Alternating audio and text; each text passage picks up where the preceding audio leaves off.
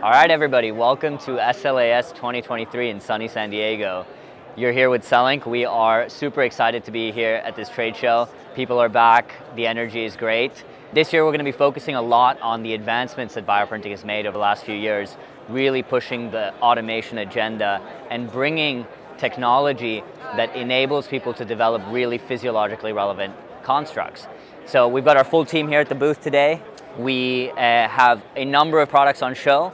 We have the Bionova X, which is up for the New Product Award, and we're extremely happy to be shortlisted by the SLAS committee for that prestigious honor.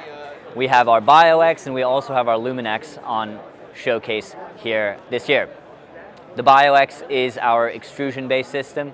It really enables flexible 3D biofabrication. So you have the ability of working with multiple materials, there's cooling, heating, there's temperature control at the print bed level, and it really enables versatility in your 3D cell culture. So anybody looking to develop tissue patches, organoids, disease models, really extrusion printing gives you a lot of options and availability.